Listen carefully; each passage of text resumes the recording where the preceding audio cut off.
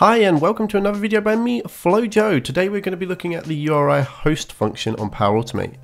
But before we get started, we need to understand what a host is.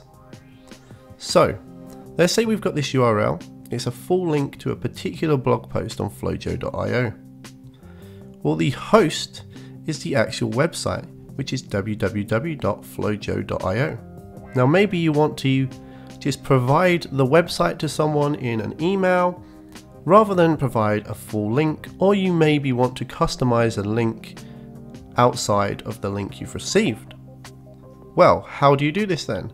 Firstly, what you would want to do is you would want to pass the URL into the URI host function.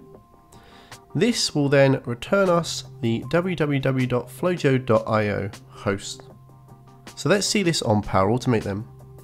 Okay, so we're on Power Automate and we've got a manual trigger for our flow and we've got a compose which is our web URL link. And then we have got another compose which we are calling the URI host function and passing in the link to it.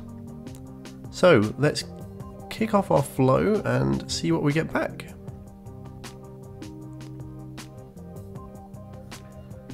Okay, so from our actual initial link, which contains path parameters, it contains the host, etc., we have taken the www.flowjoe.io host out of that, and then we can pass that and use that however we want to.